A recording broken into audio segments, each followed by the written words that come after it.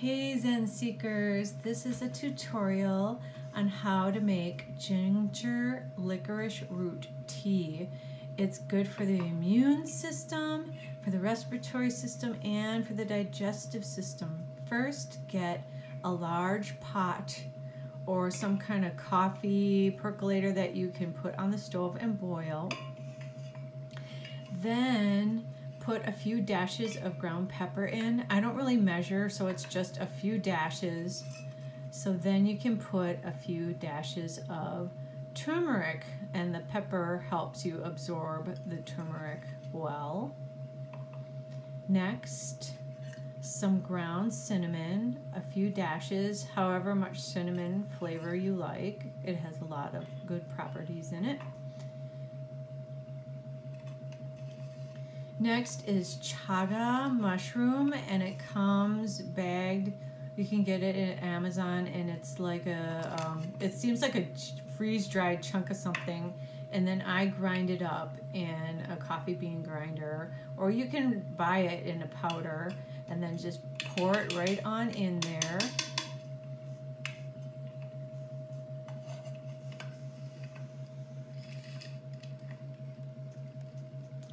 And then I have licorice root, same thing. It's kind of like a loose tea, it looks like. And I don't usually measure, but I'd say about a third of a cup would be the right amount.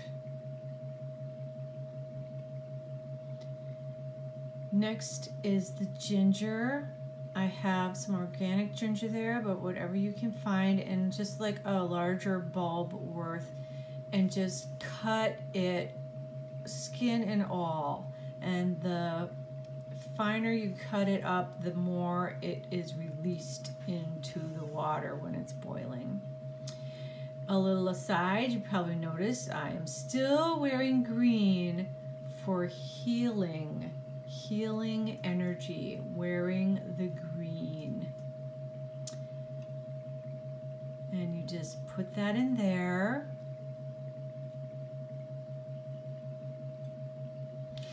Then you fill it with water, not too far because it will boil up.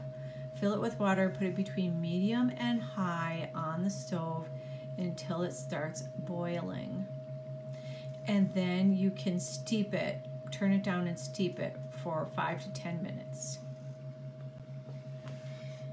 When you have the pot on the stove top, be sure to stir it occasionally with something so it doesn't form a layer on top and then boil over. It can be quite messy. I use a chopstick.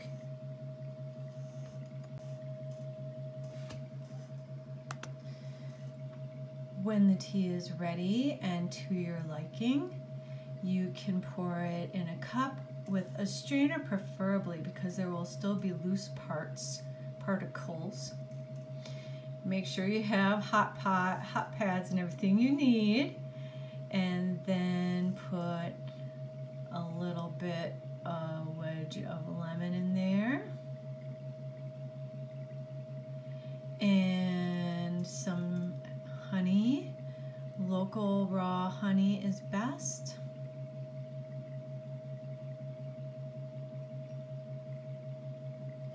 Stir it up and enjoy. Cheers.